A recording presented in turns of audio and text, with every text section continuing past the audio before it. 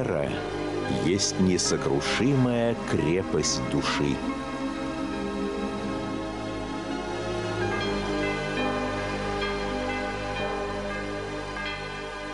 Мученики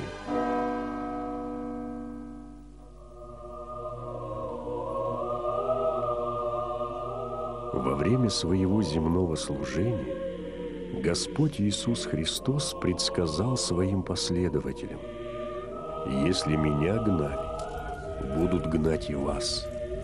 В то же время Он обещал великую награду гонимым за правду. «Блаженны вы, когда будут поносить вас и гнать, и всячески неправедно злословить за Меня. Радуйтесь и веселитесь, потому что велика ваша награда на небесах. Блаженны значит счастливы, угодны Богу. В девятой заповеди блаженств таковыми Господь называет тех, кто за имя Христова и за истинную православную веру в Него терпеливо переносят гонения, поношения и даже смерть. Такой подвиг называется мученическим – Самым высоким образцом этого подвига служит сам Христос Спаситель. Вдохновляясь примером Господа, множество христиан с радостью шли на мучения, считая величайшим благом принять страдания за своего Спасителя. Перед крестной смертью Христос говорил «Я на то родился, и на то пришел в мир, чтобы свидетельствовать об истине. В переводе с греческого слово «мученик» значит «свидетель». Путем страданий святые мученики свидетельствовали об истинной вере.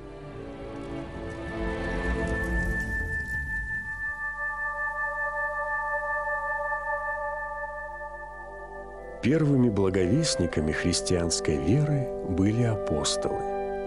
Их проповедь распространялась далеко за пределы Святой Земли, где Господь Иисус Христос благословил их на великую миссию. Для языческого мира проповедь о воскресении Христа и спасении человека от греха была чуждой и непонятной. Христианская вера была опасна как для иудейского священства, так и для язычников Римской империи. Их образ жизни был несовместим с заповедями Христа. Первые христиане жили и проповедовали в условиях жестоких гонений от властей и народа. Многие из них становились мучениками за веру – а их великое терпение и всепрощение приводило к принятию христианства многих свидетелей их подвига. Мученики появились в апостольский период. Их исповеднический подвиг был результатом преследований со стороны иудеев, смотревших на христиан как на опасную секту и обвинявших их в богохульстве.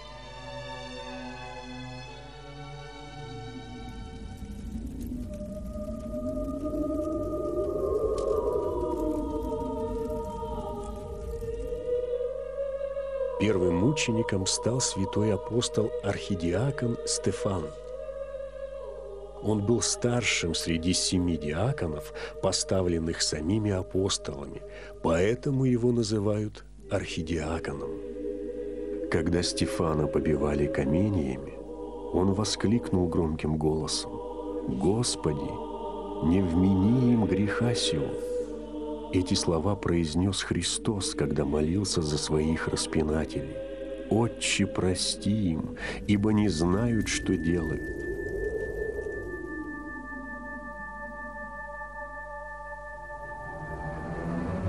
Гонения на христиан со стороны римских властей начались во времена императора Нерона в середине первого века от Рождества Христова.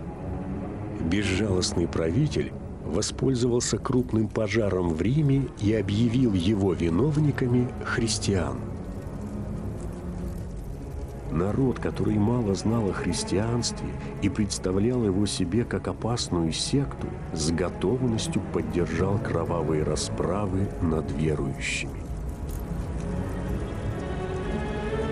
Наиболее жестокие гонения произошли во время царствования императора Диоклетиана в конце третьего века от Рождества Христова и в последующие годы. Христиан принуждали к отречению от своей веры и принесению жертвы языческим богам – Ощущая неминуемую опасность для своей жизни, первые христиане ежедневно и еженочно собирались для молитвы и причащения. Богослужение, где проходила божественная литургия, они проводили в катакомбах у гробов святых мучеников. Их праведный образ жизни, благочестие и стойкость духа служили примером для остального мира – После издания в 313 году Миланского эдикта, принятого императором Константином, в котором христианство признается дозволенной религией, гонения прекратились. Тех, кто выжил после мучений и скончался своей смертью, называют исповедниками –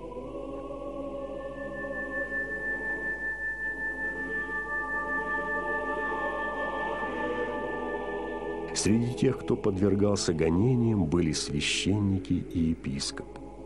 Священнослужители, которые претерпели мучения за Христа, почитаются как священномученики. Наиболее известными из них в первых веках были святой Климент, Папа Римский, и священномученик Игнатий Богоносец – Святитель Игнатий по преданию был одним из детей, которых держал на руках Христос, и за это христиане называли его богоносцем.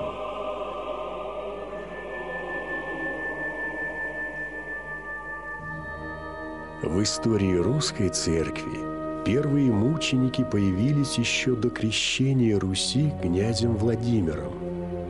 В 983 году Киевские язычники убили двух варягов-христиан, отца и сына Федора и Иоанна.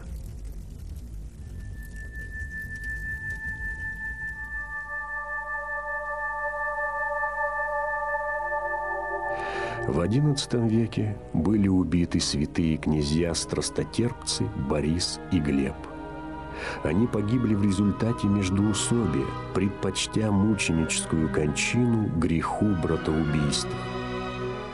Их смирение в смерти, следование Христу и непротивление мучителям являют нам истинный христианский подвиг.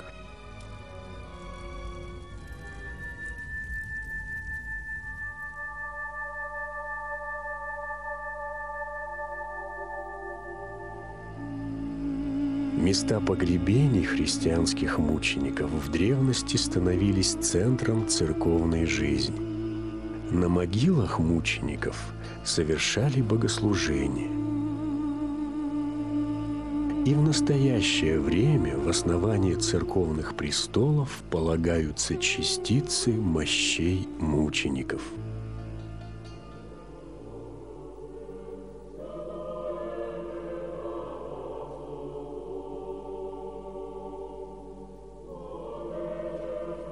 Днем памяти мученика церковь избирает день его кончины, как день нового рождения в жизнь вечную. Смерть мучеников – начало лучшей жизни, вступление в жизнь духовную.